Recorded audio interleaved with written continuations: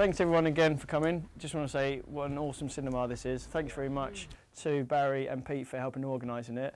And I think, you know, I mean, just looking at it, it's a sort of place where you know it's going to be a good night and you'll happily come to this sort of location many a time, which I'm sure we can sort stuff out in the future. So that's brilliant. As we know, Christmas is just around the corner. So what better way to celebrate than by watching the true Christmas James Bond film on Her Majesty's Secret Service. Absolutely amazing film. And here we have two brilliant people who I'm sure you recognise once we watch the film, Terry Mountain and Sylvana Henriques.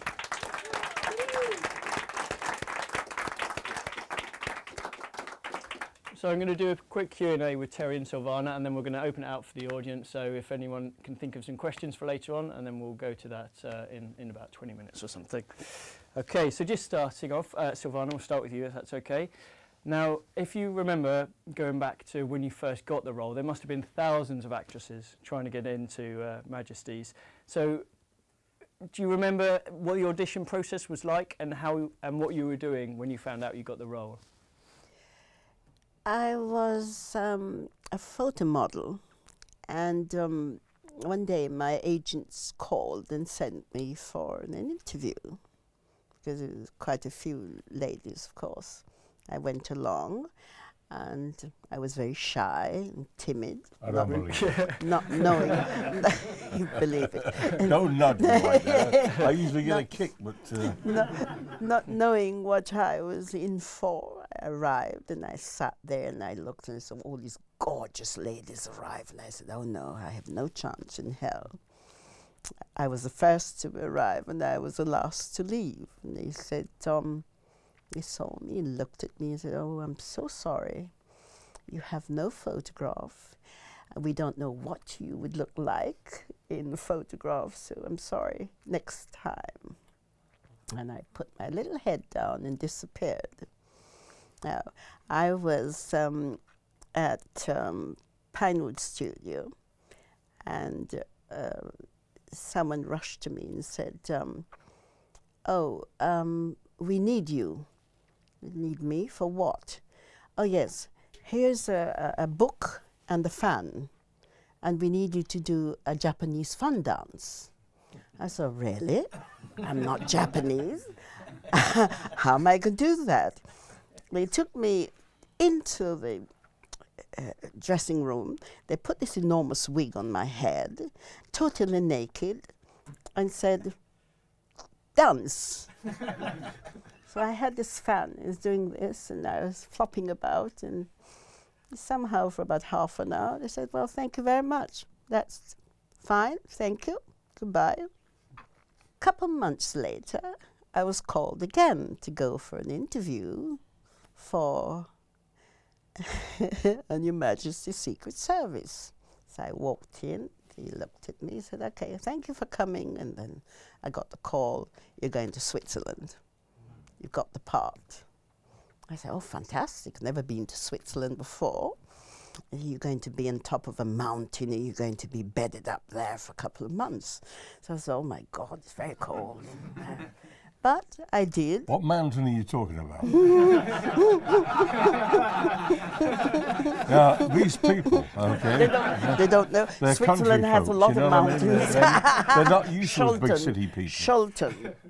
And um, but I didn't know what it was like until I got there. The cable car to take up to the top, and it was rather strange to get there. But I got there, and I thought, oh yes, rather exciting and all that. And and then we started to shoot the film, which is was lovely, exciting, and dangerous. Yeah, but I enjoyed it. And now, Terry, you obviously played Draco's henchman in the film, Raphael. Yeah. Um, so how did you initially become involved with the film? Well, I'd been in the business about five, six years. And at that time, I had a very good agent. And she used to put me in for everything. And uh, I got a call one day, and she said, Terry, the, uh, they're casting on Her Majesty's Secret Service, new James Bond film. I think you're ideal for one of the parts in that uh, film. I said, super. So she said, Terry, uh, would you go and see the casting director 11 o'clock next Friday? I said, yeah, sure. So, like all actors, you don't work all the time. You work from job to job. And I was doing freelance chauffeuring at that time, driving other people's cars. And I had this client in Green Street, uh, Park Lane, and I went to pick one of his family up from Heathrow. The, uh, my audition was 11 o'clock on the Friday morning.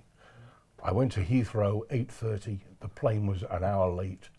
By the time they came through customs, another hour. So I phoned Gabby up and I said, Gabby, I won't be available for 11 o'clock. She said, well, get there as soon as possible, Terry, and I'll tell them you're going to be late. She said, but don't make it after one o'clock. So I picked the client up, took them to London, raced round to Eon Films in Park Lane. And it was a Phantom 3 Rolls Royce, a beautiful mm. silver job, red upholstery. And the, the air conditioning was absolutely fabulous. So I parked it right outside their door, went in. As I'm coming, as I went in, the casting director was coming down the stairs, five to one. So he said, "Okay, Terry." He said, "Well, you're here. You better come and see me." So I went upstairs and he told me about the film. He said, "We're we're, we're seeing people. It's down to six people now, six character actors. One's been cast already, so you might be lucky." So the telephone went, and he spoke to the person on the other end of the line, and he said, "I'll be there at quarter past one." So he puts the phone down. He said, Terry, thanks very much indeed. He said, I know your work. I'll be in touch with Gabby and uh, leave it with me. So we went downstairs. He spoke to the receptionist. He said, I'll be back at three o'clock. And he calls back at three o'clock. So I said, Mr. Lovell, I've got a car outside. Can I give you a lift anywhere? He said, Would you? I opened the door. He took one look at the Rolls Royce, one look at the receptionist, one look at me, and said, Yeah, fine. so I opened the car door. He jumped in. He said, Terry, he said, Would you take me to, the, to a florist in, in, in uh, Berkeley Square?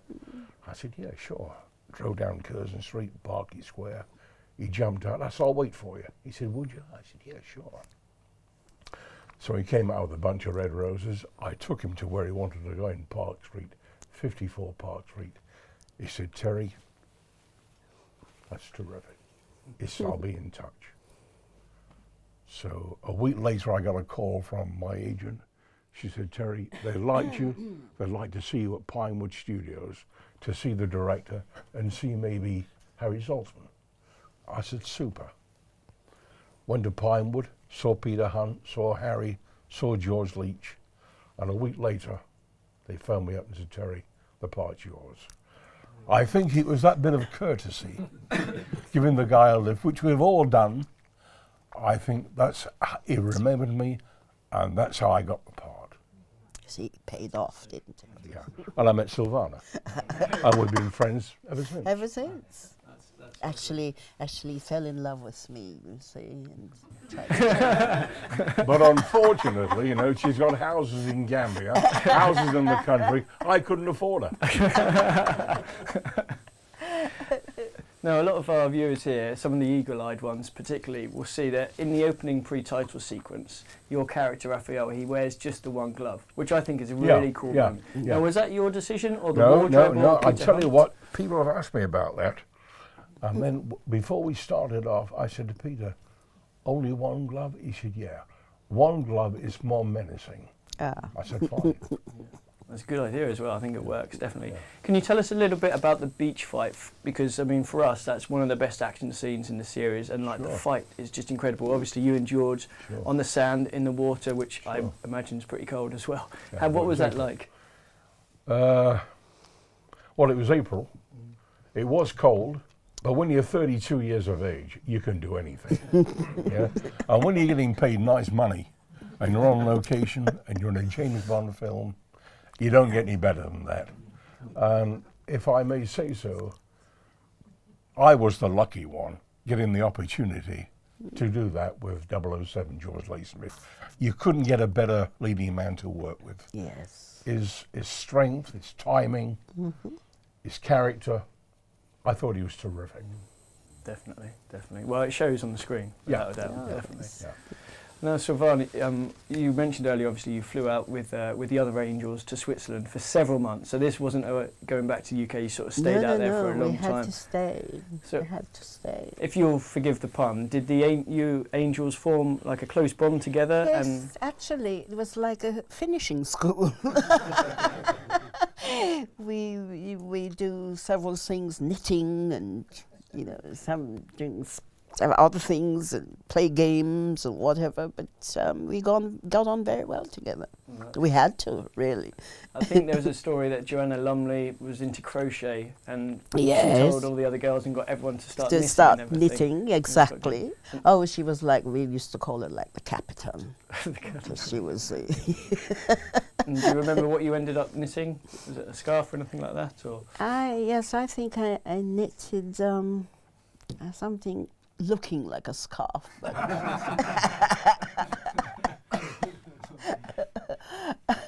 but not exactly. Something to pass the time, you know. We finished with that. We're starting on something else, and um, some some girls said decided that we had to do a spiritual thing.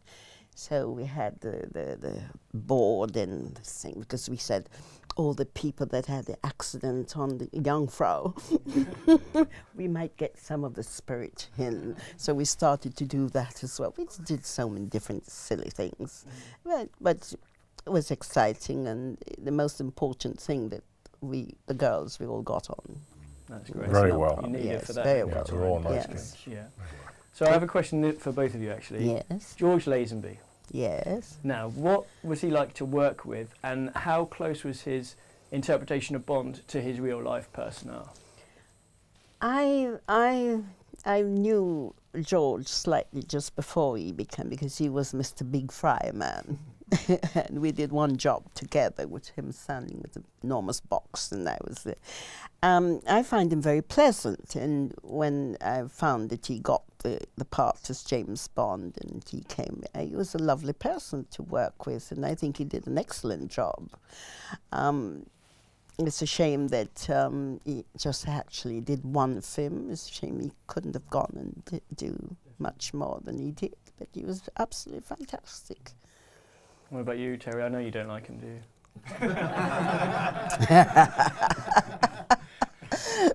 I did work in, in one of his uh, commercials, Big Fry. Yes, here yeah. you are. I was one of the guys, that one of the muscle men in the uh, in the Casbah with Milton Reid that worked in Bond, Yeah. Tom Clegg, and Alf Joint, and we were all four heavies. That was the first time I met George in 1967. Yeah. Then a year later, we uh, met in Switzerland, and I thought he was tremendous. I thought he was a great 007. And every scene I saw him play, I couldn't have done any better. And I'm only sorry he didn't carry on. Yes. a shame. I thought It's he a was terrific. shame. Yeah. Yeah. And we're still mates now. We're still in contact now. Yes. 50 years on. Yes. How, and how good is that? And How when we, we when we meet each other, it's like we were never parted. You know, he's always coming, cuddling. He said to me once, um, "Your boyfriend over there is staring at me." I said, "Which boyfriend?" Yeah, which one? Yeah, Yeah, which one? which one? Yeah, yeah. I said, um, "George, that's my husband." He said, "Doesn't matter. He's still a boyfriend. He's still staring at me." Moving on to uh, Peter Hunt, the director. Oh. Now, w- what was he like as a director, and, and, and how did he work with the actors? Was he sort of an actor style Oh. director, or Peter, my experience with Peter Hunt, he was absolutely joy. He's marvelous. I had a great time with him. We became very close, and I loved him very much. He was a great friend. he comes across really well in interviews he with is, everyone as well? yes, always a wonderful person. And it's a shame that we missed him so so soon. You know, Mm. one of those unfortunate things, I suppose. It was Did you get on with uh, Peter? Yeah, Hunt? very, Sorry. very, very much indeed. A, a, a fabulous director. Mm, He, um, he was a gentleman, yes. a gentleman director of the old school. And he knew the film industry inside Very out. well, He it's knew true. actors inside out. Mm, And if there was something that you wanted to put into it, he would say, "Okay, Terry, let's see it. Yeah. Let's see what let's see what you can give me. Let's see what I can cut into." Yeah, a gentleman. He really was. Fabulous uh, uh, director. and I wish he'd done more. I Yes. I'd Well, like more. George, you only the one film. We might have got some more work out of it. Exactly. oh gosh. It was only um, two years ago, wasn't it, 2015, that you both returned to Piz Gloria for the opening of the 007 Walk of Fame. So, yes. what was that like going back to location Oh. after all those years? Oh, wonderful. Brings back wonderful memory. Had you been since the filming? A f- I, a couple I, had of been times a couple Yeah. of times. Yeah. Yeah. Yeah. Been- Yeah, the. Uh, I think it's heaven on earth. Oh no, it's even better heaven. Well, Proved well, it so much. if you get the opportunity of going there, you've got to go. you've got to go. Got It go might see be expensive, but uh, if you go for a holiday there and you don't enjoy it, let me know and I'll send you the check. Some hopes. yeah, fabulous part of the world. It really is. And they have improved it so much. When we were shooting the film, the, the um, cable car was so old. Sometimes we're going up and the snow falls and got twisted. So we stand there rocking like this and think, oh my God, that's it. Until another one came to unfold the wire that we can move. It, but all that excitement, it was, was, it wasn't the danger. It was wonderful. I wouldn't have wanted any better.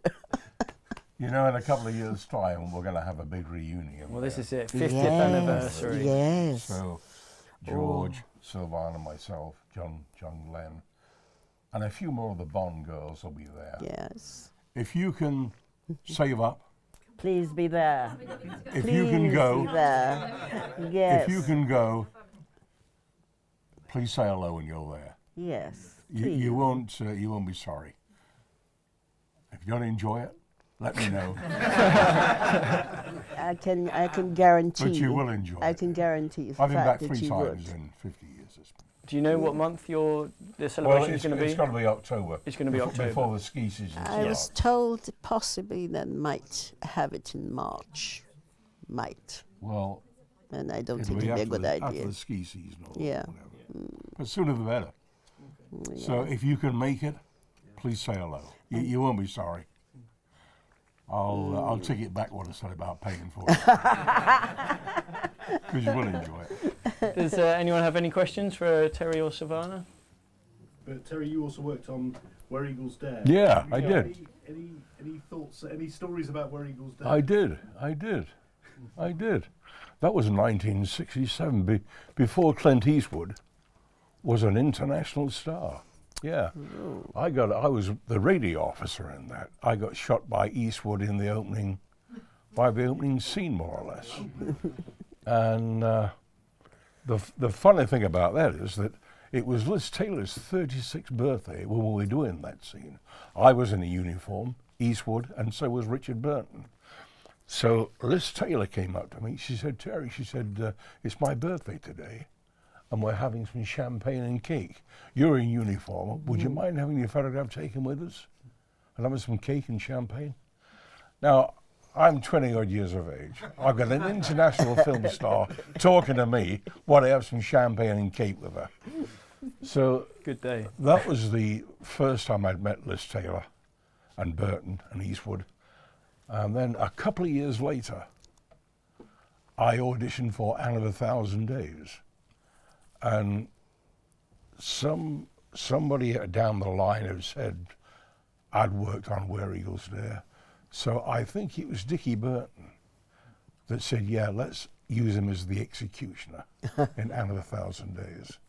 And that's how the business works. You know, you're in one job, you see somebody else, and uh, it's a, a bit of good luck all the way through. So I did work in Where Eagles Dare. Super film. Yeah.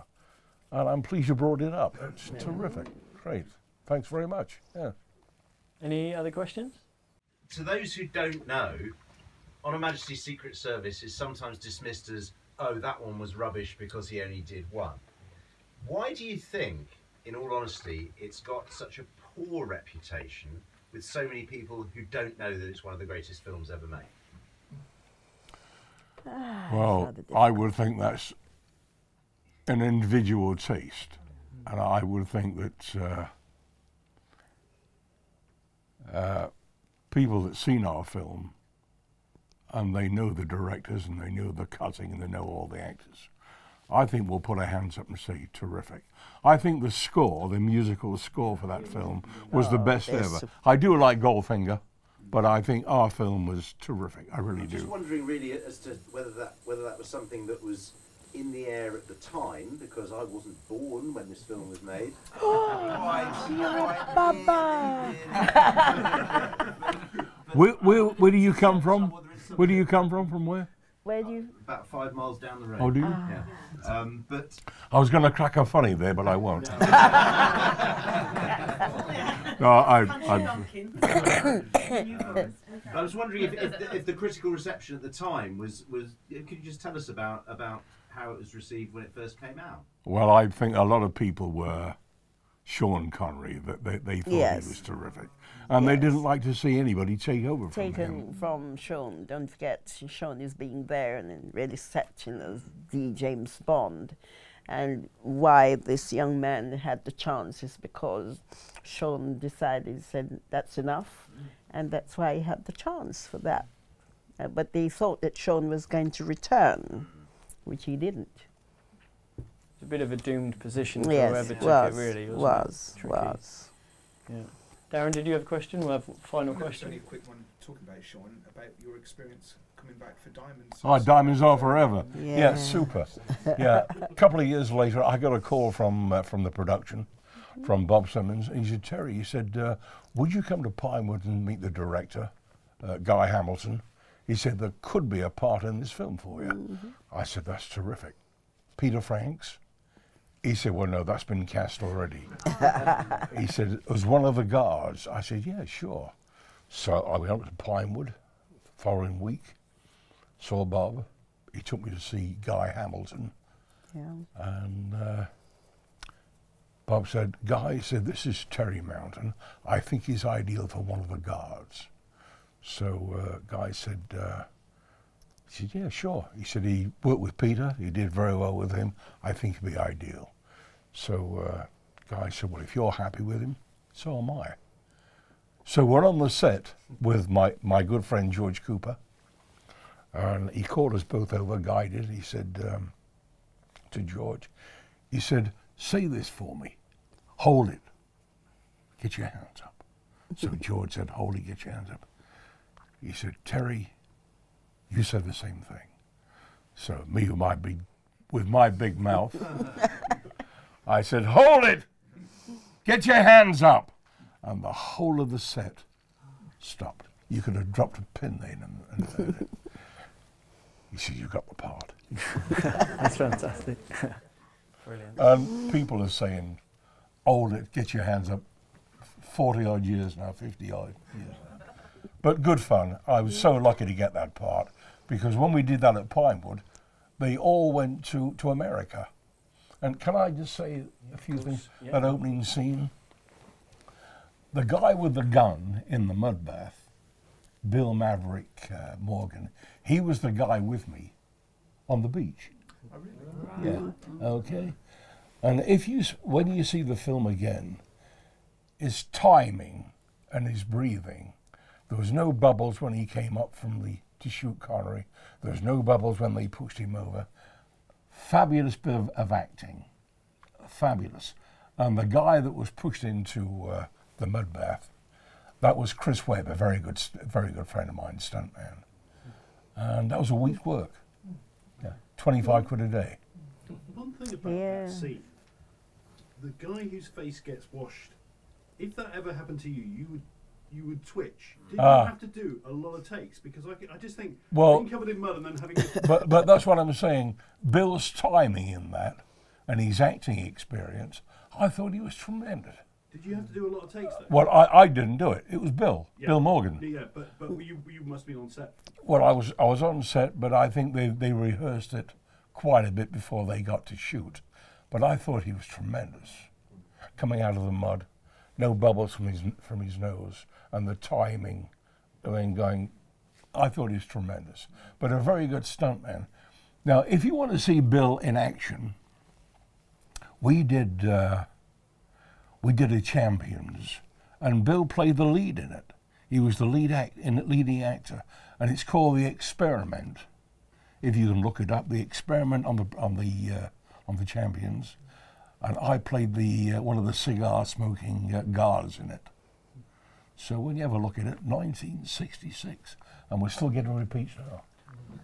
But Bill played the lead in that, a tremendous actor. But he died a few years ago. Died very young, died very young.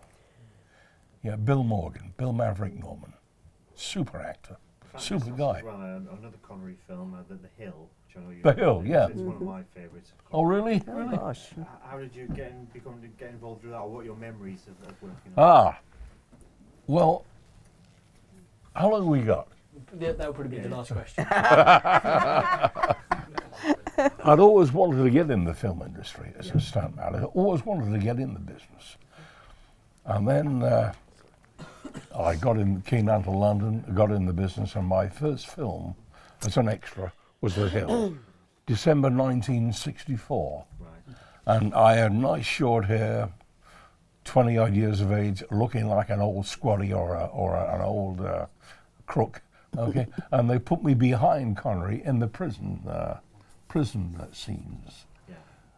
and uh, well, that was it. There was there was no talking to anybody. I was new in the business, and that was my first film film part, The Hill, 1964. That's a good one. That's a, that's a good one. Super. So when you see the film, you see my big head and my big face next to Connery. I, I'm the guy with more hair than Connery. so, uh, my pleasure. I think that's about all Thanks for the bringing time it we up. have for questions. Um, so yeah, we're going to roll the film uh, shortly, if that's all right, Barry. And uh, big again, another big hand, please, for Terry. Thank you. Thanks very much.